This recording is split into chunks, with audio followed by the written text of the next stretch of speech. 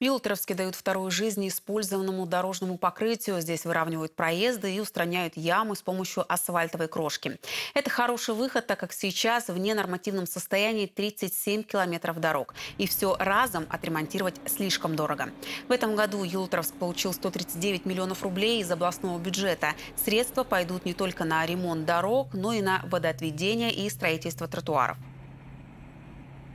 Начинаем с э, въездных улиц, основные проезжие улицы и автобусные маршруты для приведения их в нормативное состояние.